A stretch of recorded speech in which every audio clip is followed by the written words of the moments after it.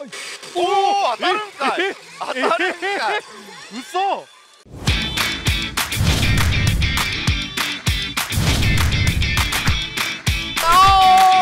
お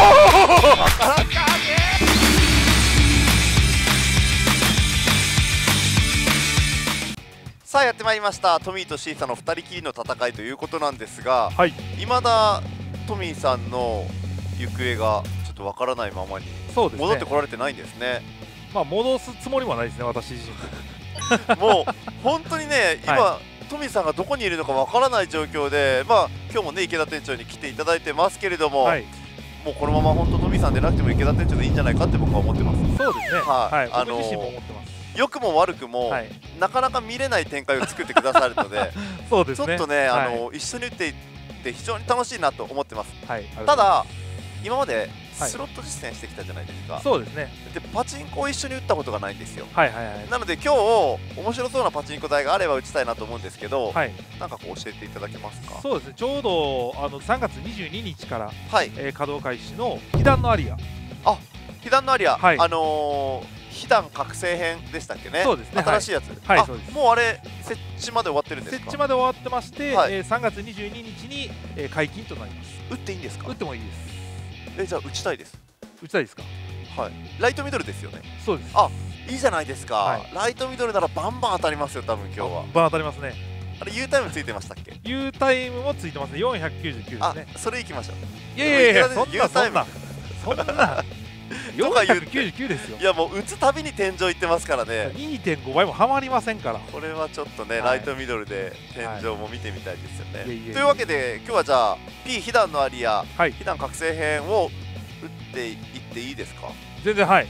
で僕初打ちです私も初打ちですあじゃあお互い何も知らない状況で。何も知らない状態で。ちょっとあのー、寝台の説明というよりも、まあ、どんな寝台なのかっていうのを皆さんと一緒にこう勉強しながら打っていけたらなと思いますね。はい。その中でまあこの台の特徴はこういうとこですよ。なんか触れながらちょっと打っていきたいと思いますので、えー今日もあのゆるい気持ちで温かく見ていただけたらいいなと思います。それでは早速実践の方に参ります。よろしくお願いします。お願いします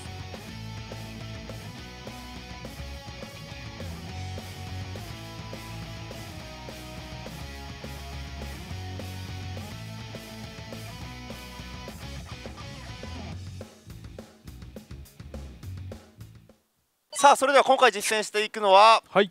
被弾のアリアはい。被弾覚醒編ということでね、はい。最新台でございます。ありがとうございます。でシリーズでは結構ねパチンコ被弾のアリア出てきましたけれども、うん。また今回ライトスペックライトミドルスペックということで結構こう遊びやすいタイプのでありながら高継続ということでこう瞬発力にも期待が持てるというね。はい。はい。果たしてどんな台なのか、えー池田店長も私も初打ちでございます。全く初打ちですはい、ということで、はいこの小冊子を味方にちょっとねあの今日は寝台をこうまあお見せしますけれども、うん。この台がどんな台なのかっていうのを説明するものではなくてこの台がどんな台なのかっていうのを我々が勉強するための、はいあのちょっと実践に近いと思いますので、えー失礼ながらちょっとねテロップの方でいろいろ補足していきたいと思いますのでよろしくお願いします。はい、はい。お願いします。じゃあ早速打ちながらちょっと我々も覚えていきましょうか。そうですね。二段のアリア、はい。じゃあいきますよ。はい。いやまず見ていただきたいのが、はい。この筐体ですよ。そうですね。これ入れ替えも大変だったでいしょやー大変ですね。これ別々で納品されるんですよ。ちなみにこれがですねインパクトアリアユニットと言われるですねはい。業界最大級のアイキャッチと言われてます。見てください。もう筐体ぐらいの大きさがあるんで、もうデータランプフル虫ですもんね。はい、うん。あのー私を見てと言わんばかりの インパクトアリアユニット。これはまず島端から見た時のインパクトがすごいですよね。そうですね。でまあ今回この見た目で言うとですね弾丸風穴エアーというのがここにあるんですね。あこれか。こっからあのおなじみのラッキーエアーが劇的進化ということでまああの要所要所で風が出てくるということですねこっからであともう一つですねこれ大当たりを狙い撃つ超爽快専用デバイスということで、アリアザガバメント。あリアザガバメン。これうわすごいすごいほら今ちょっとプルってなったんですけど。震えてますねなんか。そうなんですよ、うん。これブルってなるんですよ。押したら。でこれを使った演出も当然あると思いますので、まあ、今回はこのねアイキャッチと風とこのアリアナガバメントこちらにも注目していきたいなというとこですね。これが見た目の特徴です。でスペックを簡単に申し上げますとへそでの大当たり確率約199.1分の1ですね、で一種二種混合タイプとなってます、えー ST の名称がですねアサルトクエストっていうのがあるんですけどそのアサルトクエストの継続率が約75%、まあ、さらに上位の ST というか、まあ、ストック特化モードっていうのがあるんですけれどもこちら V アタックストックタイムっていうのがありましてこちらの継続率が、えー約87%と言われています。でそのアサルトクエストと、えーストックタイムの、まあ、トータルの継続率で、まあ、80%という、まあ、高継続のスペックということですね。もうこの時点でいや意味がわからんと思われてる方も多いと思います。我々もこれは打ってみないとわかんないよねっていうところですね。ね。はい。ただめちゃめちゃもう端折って簡単に言うとここの大当たり確率が約199分の1ですよと。でその後に50回か100回の時短がついてきますと。でその中でまた大当たりを引ければ、えー高継続の V ストックに行くかもしれませんよと、行かなくてもアサルトクエストだけで75%の継続率を持ってます、まあ、まずはそれぐらいのの知識で打てる台なのかなと思いますね池田店長そして今回はい。U タイムついてましたね。そうですね U タイプついてます。U タイム付きです。ライトミドルで U タイム、えー、499回転、はい通常ゲーム499ですね。消化すると U タイム突入。で U タイムに突入すると、まあ、うん。大当たりと、えーアサルトクエストがセットできますので、はい。U タイムは行けば何もなく終わるということはないと。そいううことですね。ねはい。まあ、この辺ちょっと安心できますね。まあライトミドルスペックなんでさらに打ちやすいですよね。499までってなると。そうですね。ははい、いいやでもこのコンテンツは本当に人気ありますよね。は前の CR の被弾のアリアとかもいはい。あの店舗のアカウントであのツイッターをやってるんですけれども、はい。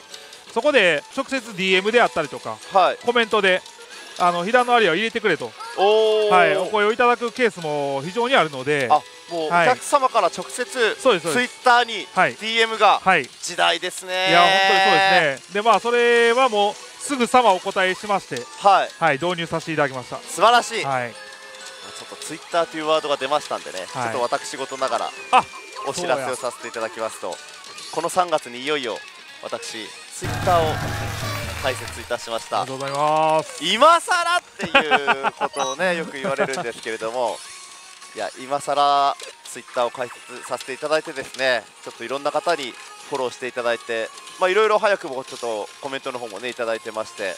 いやでも待ちに待たれてた方多いんじゃないですか？ああそう言っていただけると嬉しいです。いやーだってコメントもいいねもあの序盤からだいぶ飛ばしてましたよね。あそうですね。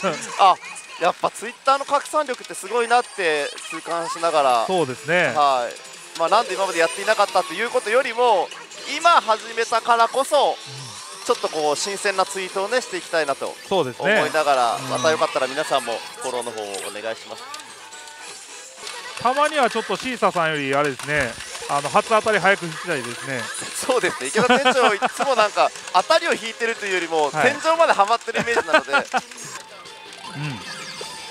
おちょっと待ってください。うん熱そうじゃないです準か備はいいですか？ボタンで選んで？え何何？なんかおおどうしたどうしたおなんかなんて書いてある？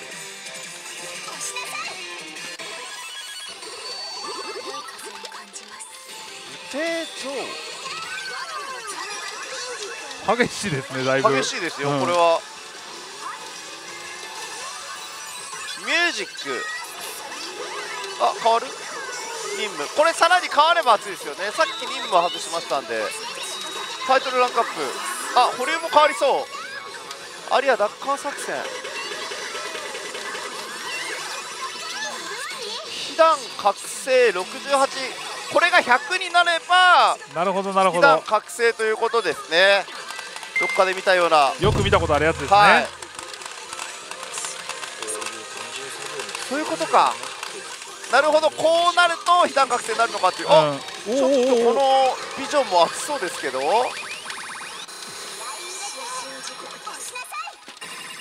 はああ97いかんのかい。あ赤文字ですね。おおあ2人と3.5あ。赤保留きましたよ。そしてあっしゃこれは早い早い。これは来ましたよ。いわゆる注目演出の一つですよね。来ましたね早速。アリアザガバメント。アリアザガバメント。アリアザガバメントです。アリアザガバメント赤文字ですしね。初めの保留スタートは普通の通常保留ですか？そうですね。おおああこれ？早い早い。当たった当たった。早い。嘘。めちゃめちゃ派手。ちょっともう僕じゃなくてこっちを見ていただきたいすごいですね。まあ今のバトル系リーチなんですけど、まあ、通常時もねいろんなこう種類の演出があって、まあ、バトル系リーチの中では中ぐらいの期待度の演出でしたね。早いな。で問題はこの後ですよ。なんか再抽選の煽りがあったっていうことは奇数図柄の方が偉いのかなという気がしますね。ということでスカーレットボーナスでございますでこちらがですね7図柄以外の大当たりスカーレットボーナスですね、でこの後はまあアサルトクエストリロードに突入ということになりますね。で初当たりは基本的に3ラウンドになります。でこれですこれですね。アサルトクエストリロード。でこちらが、まあ、50回転の ST ということになりますね。50回転の ST ということになります。ここがだから一つの乗り越えなくてはいけない壁だと思いますね。そうですね。だからそこで当たってようやくこうずっと80%がトータルでループしていくようなそうですそうです。ね。はい、この辺がだから実際打ってみないとちょっと分かりづらいところですよね、まあ、まずこの中での大当たりを引いた場合右打ち中はですね約50%が10ラウンド。で約50%が3ラウンドということで、まあ、ここで初めてね10ラウンドの当たりを取れるのでここが入り口ですねまずねいや相変わらず初当たりのスピードは負けますね。大丈夫ですよ池田店長。もうご自身の役割は多分分かってらっしゃると思いますけど。あの今回 U タイム搭載されてますので。そうですね。U タイムって何っていう方も多分見てらっしゃいます。確かに確かに、はい。まだこの U タイムが搭載されてからパチンコを触ってない方もいらっしゃるかもしれないですね、ええあの2時間以内でお願いします。U タイムまで。さあ言ってたらもう残り3回転2回転さあアサルトクエストリロード50回の ST はこれで終了になります。だからここがまあまあまあまあ簡単じゃないかなっていうところですね。ただここを超えるとトータル継続率80%のラッシュということになるのでまあここを超えれるかどうかですね。あのリゼロをとりあえず見なさいと。はい。あーあんなに面白いものないからとりあえず見なさいということを、はい。あのエミリアタあーエミリアタンエミリアタン可愛かったですね。おー。コードギアスに関しては、はい。これは絶対に見た方がいい、あそうなんですね。これは騙されたと思って、はいはいはい。一回1期だけでも全部見てください、はいはいはいはい。すんなり2期に入れますから。ああなるほど。僕は友達が少ないっていうアアニメがあるんですけど、はいはいはい。まあ、略して「はがない」っていうんですけど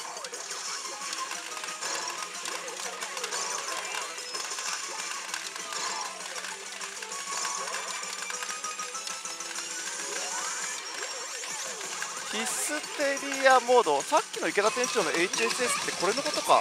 これのランクが上がっていたってことですね。あそうです。それのレベルがおーおーおー。おこれは熱いんじゃない？おすごいクラッシュきましたけど。さあ今タイマーも発動しましたね。30秒のタイマーです。これは結構強そうに見えますけど。いやこれ絶対強い。紫。強いんじゃない？より赤が強いんですよね。かっこいいおちなみに今キャラクターをこう獲得していったんですけどノルマーレアゴニザンテベルゼレガルメンテという順にこう期待度が上がっていくようですのでアゴニザンテは一応下から2番目っていう感じですかね。紫保留あでも今金タイトルだったような気がしますけど。さあ2回目の大当たりなるかどうか。まあ、やっぱりこのバトル系からの当たりっていうのが一つ王道の流れになるのかなという気はしますね。もちろんさらに覚醒なんか経由してればねいいんですけどただちょっと保留が紫っていうところが弱いような気もします。どうだ？あーダメか。あ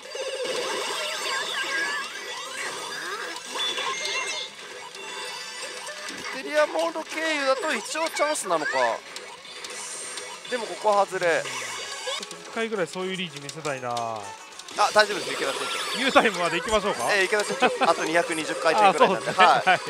もう僕のミッションはそういうサブミッションの方ばっかりなんい、どっでねちかですね。ですね。タイムいかないんだったら一発目のあたりでもドカーンと SP を見せていただきたい。確かに確かに。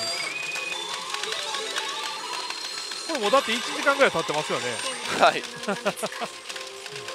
マジか。この間ちょっと聞いてびっくりしたんですけど、はい。今のパチンコ台って、アウトボックスがないらしいですね。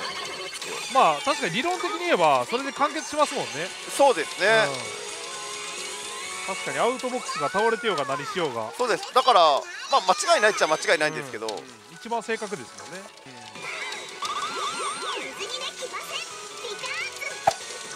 馬戦は絶対勝たれへんもんな。騎馬戦なんか見たことないですけど。いやなんかふ復活系のなんか多分あのああ、はい。外れた後に発展する先なんですけど、ま池田店長もそれは当たり外れじゃないと思いますよ。あまあね。もうサービス映像じゃないですか、まあまそこは。あ確かに確かに、はい。おおお当たるんかい。え当たるんかい。嘘いや今ちょっと。出たよ出たよ。ほらね。僕毎回こんなんですよねなんそうかいうところですよね。完全に油断したところで当たりを持ってくる。大事なところで当てない。いや本当にちょっとあれですね。言うこと聞いてくれないですね。いやでもひとまずこれで。いやまあまあまあまあ。大当たりなんで。いやちょっとこれほんま気持ち悪い引きですね。まさか。でも結構その外れた後に突入になるかの煽りがあっていく演出じゃないですか、はいはいはいはい。だからまあまあいった時点でもしかしたらあるのかもしれないですよね。ただ普通のリーチエースでめっちゃめっちゃ弱かったんですけどね。だからあの源さんのお願いチャンス的なやつじゃないですかね。なるほどなるほど。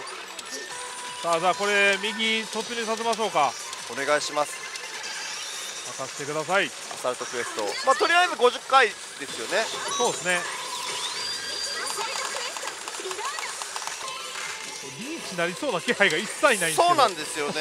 多分発展したらまあまあ強いのかな。僕もリーチ見れずに終わったんでさっき。ね。これは駆け抜けるぞ。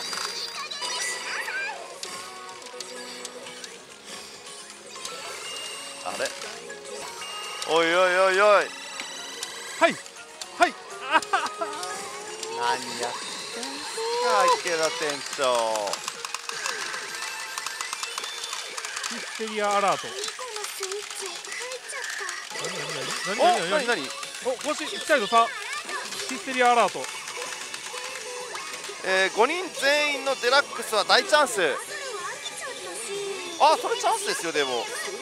リコ保留ですねリコ保留50ゲーム目に持ってきたとなればまたそれも池田店長らしいと。確かに。頼む頼む。おい。おい。おい。おい。あマジか。いやーきついなこれハードル高えな。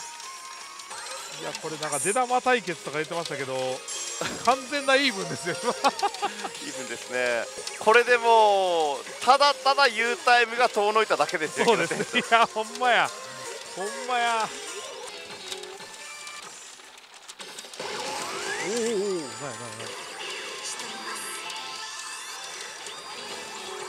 あととかお先読み来ましたね長おお赤く光ってる。赤い赤い赤い赤い。先読みですねこれ多分。あ先読み337あおおおおお今日一今日一熱これはそうな予告。あもうもう今被弾覚醒出てますよカウント。マジっすか？54はい。おお金金のカットイン。本当だ。星か？白雪？白雪さん？アリアガバメントありますよ。ありますねアリアザガバメント注目演出。ガバメント。ああ任務。えそこで任務？任務。一気にちょっと。チャンスいや文字も白。やこれは。それはさすがに無理よっていう93話じゃない？93確定93ですよ。あ。えさっきの金のカットインちゃうかったんかな？なんか金のキャラクター金っぽいキャラクターがいるんでちょっと難しいんですよね。その辺の判断も。あとりあえずヒステリアモードいきましたね。そこで誰が出てくるか。覚醒いかんのかい。あ演出は派手なんですよ。ベルゼかレガルメンテが出てきたら熱い。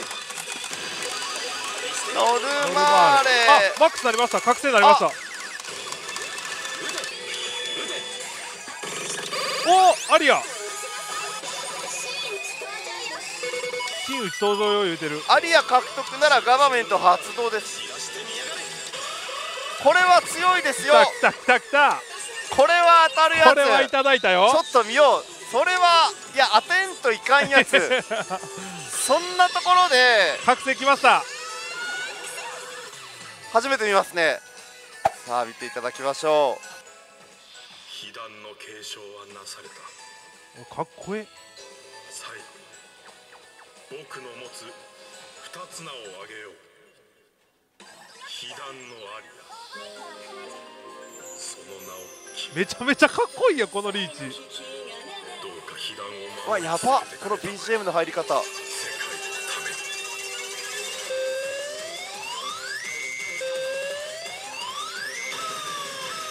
これはかっこいい。これはかっしびれるなこいい。しびれるなこれちなみに被弾覚醒信頼度70%オーバーです赤文字え保留があ紫のバラかそれでもえおはいはいはいはいはいはいアリアザガバメントガバメントいただきましたよはいえまだ当たってない。当たってない。ですさすがによこれはさすがにね。ちょっと待って怖くなってきた。池田店長ならはいはいはいはいはい。これを外してっていうのもいやいやいやいやいや。嫌な予感がしてきたけどお願いしますよ。ちゃんと見せますから。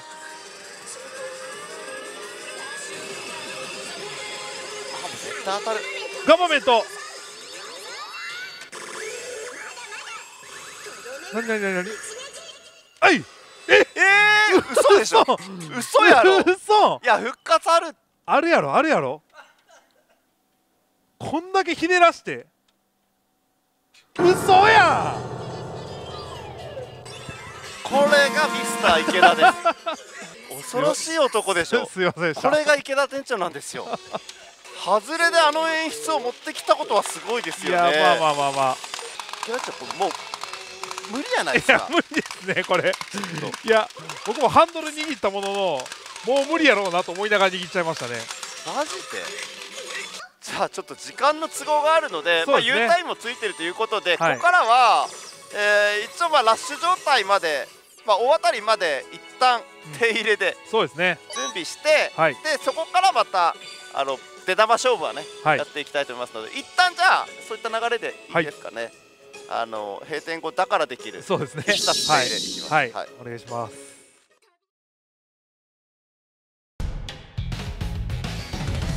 あ金文字出てますね。おお金文字。七揃い。あ七揃い来た。オッケーオッケーオッケー。そうこれがこれが。優勝時の50%あるんですよ。そうですねはい。もう半分過ぎましたよ半分。やばいやばい。あおおここも赤赤カットインと言っていいのかどうか。保留緑ですけどね。あ